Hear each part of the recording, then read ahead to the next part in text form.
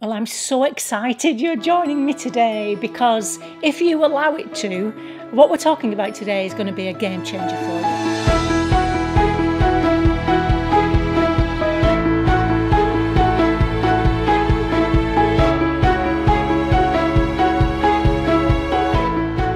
Hi, my name's Christine L. Conroy. Welcome to Happy Stuff and Fluff, a channel for women over 50 who are getting happy and growing younger. If this is your first time joining us, you are most welcome. Please subscribe, subscribe, subscribe, subscribing, even. Please consider subscribing and hit the notification bell so that you'll be notified when a new video comes out, which tends to be on a Monday. That's our time together. Okay, so the reticular, the reticular activating system then doesn't sound very exciting, does it? But I promise you, it is. So much so, this is going to be a two part video. So, I'm guessing some of you already know what it is. Uh, for those of you who don't, I'm just going to very quickly and simply, of course, um, tell you what it is or explain to you what it is. Now, reticular activating system is a bit of a mouthful, so I'm going to call it your RAS. Okay, your RAS. Right then, so now, if you think about it, every single moment your brain is bombarded with billions of bits of information. You know, when you're walking through the city, billboards, other people, cars, uh, what you can see whilst you're walking, anybody that's talking to you, all those kinds of things, and things that you are not conscious of. Your brain is being bombarded with all of these bits of information. Now, if you took it all in, you'd be constantly walking around like this, wouldn't you? Um, you'd be totally crazy with a permanent headache if you had to take all this information in. Oh, honestly, your bonkers brilliant brain, it's just incredible because in order to protect your brain from being overloaded by all these billions of bits of information, you have a reticular activating system. Now, it's very deep in the brain and it's like a web like formation of nerve cells deep within your brain. I think it's kind of here um, between the brain and the spinal cord. Now, it when it's kicked into activation, it activates the whole of your brain, so the whole of the cerebral cortex, and it's that's flooded with energy and the level of increase of arousal is increased in that part of your brain ready to interpret all of this information. Because of course it's not just about taking information in it's interpreting that information too. And this is what the ras does. Now importantly it helps to filter out the unnecessary information or most importantly, it filters out the unnecessary information for you personally. What it filters out for you is probably different, well, most likely different to what it filters out for me. Okay, so I'm talking to you now, and you and your brain and your RAS, and what your RAS filters out for you. Okay. Um, so it filters out what's important to you. It all well, it only allows what's important to you to get through into your brain, ready for your brain to interpret that. How does it do that? How does it know what's important to you? Well, it knows because of your experience so far, your life experiences so far, the belief systems that you have created and designed for yourself, and the things that you focus on. All of those things that your brain knows about you is uh, what helps the reticular activating system to filter out what's important to you. This is why it's such a, you know, this is why it's so personal, obviously. So the RAS then takes what you focus on and creates a filter for that. It's just so, it's this, when I first started to study this, it gave me tingles. It, it really gave me tingles. I have been conscious of it, um, but studying it really gave me the tingles because this your RAS only then presents to you information that is important to you and crucially that validates your belief systems that validates your belief systems etc um, just let me give you just let me give you an example so when i say i became conscious of this uh, that it was there many years ago between i have three children mitchell charlotte and josh as you know charlotte um, Charlotte left us last year. Um, I still have three children. Okay, so between Mitch and Charlotte, we had a miscarriage. Now, those of you who have suffered from a miscarriage will understand that the emotions of that are all consuming, uh, which of course they were. And from that moment on, when we lost that baby, and I was probably about 12 weeks. Uh, when I went outside, the world was pregnant. The world. I mean, everybody was pregnant. It got to a point where I had to stay home. I couldn't go out because the world was pregnant. Now, of course, the world wasn't pregnant, but because being pregnant was so important to me at that time and so much what my reticular activating system was focusing on, all I saw were women who were pregnant. Okay. Um, on a more on a lighter note than that, when I bought my first uh, fabulous ice white uh, convertible car, which I bought myself and was incredibly excited about. I thought nobody else has got one of these. Of course, the minute I bought it and got out of the onto, out onto the road, every other car that passed me was an ice white convertible. Go figure.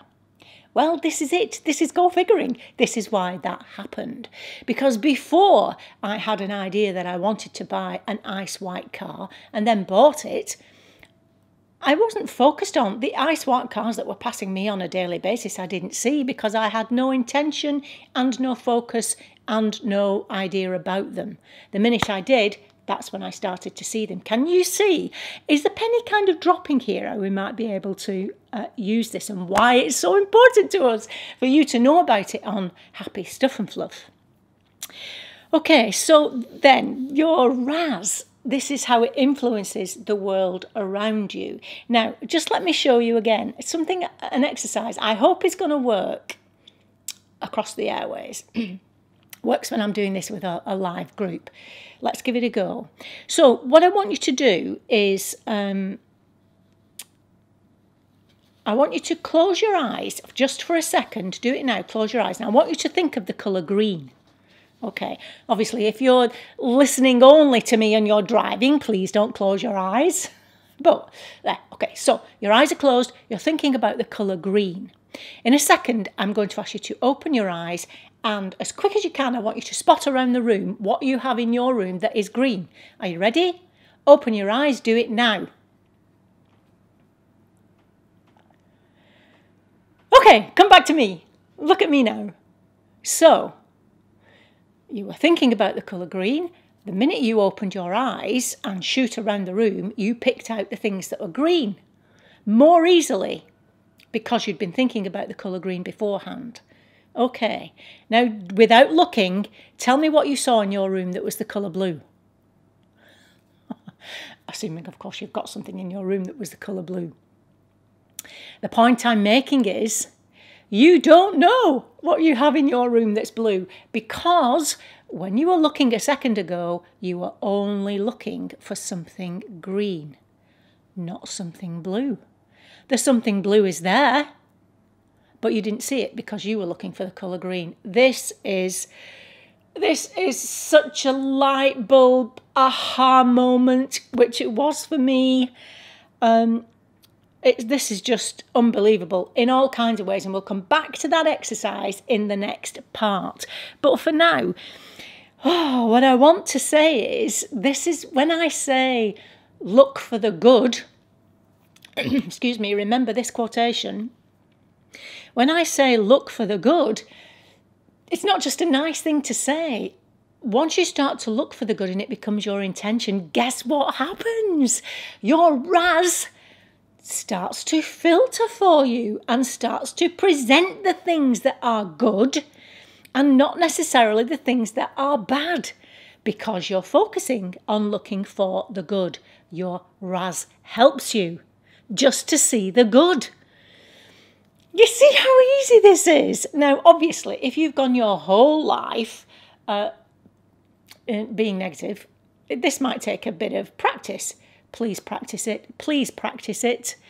This is why, over the last few weeks on this channel, during all the mayhem for whatever reason we've been struggling with in the world, I've asked you to focus on the positive and to being optimistic, or, or I've focused on that on this channel, hopefully, um, so that you will also focus on that and start to attract more of that into your life rather than uh, be swallowed up by all the negativity. So, this is kind of the science behind that. You know, it isn't just when I say look for the good or when you see quotations like this, um, this is what's behind it.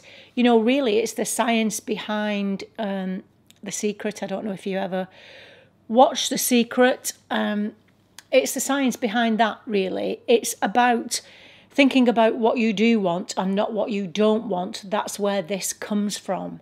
And believe me, believe me, this works. Now, unfortunately, it does work the other way around, as I say. If you constantly focus on the negative, then your RAS is going to filter out negative things to present to you. You see how dangerous that is? You see how dangerous that is?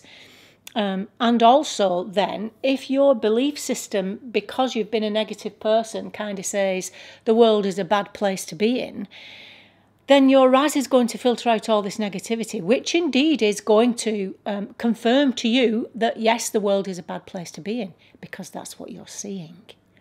And that's what your RAS is presenting to you. Oh, goodness gracious me. Um, you know, the good things are there, just like the blue was there when you're looking for green, but you're so busy looking at the negative, you don't see the good. Ooh, what do you think about that then? Oh my word. Um, yeah, so when you hear that saying, focus only on what you do want and not what you don't want, this is why. This is what happens. This is why you need to start to help yourself to change those negative thoughts for positive ones so that your RAS can keep attracting and filtering good things to you. Oh, I'm going to leave that one there today. Uh, part two, I'm going to go more into how you can start to use it strategically to help you or to prime your life for success, whatever success means to you. Okay. Oh, I hope you are. Uh, I hope you're feeling good and that you're getting used to slowly um, going back out into the world. Please tell me you're taking your vitamin D please take your vitamin D as you are going back out into the world and into contact with people. I know in parts of the world, in the US, it's happened in the UK where um, the COVID has come back and hit sometimes that, that um, you know, there's now a rise in COVID. Well, start thinking this way. Please keep taking your vitamin D. If you don't know what I'm talking about, I'll leave a link here and stay safe until I see you next time. uh, which I can't wait for. I'll see you next time, and until then, remember that on the Happy Stuff and Fluff, we are getting happy and growing younger, and I'll see you next time. Bye bye.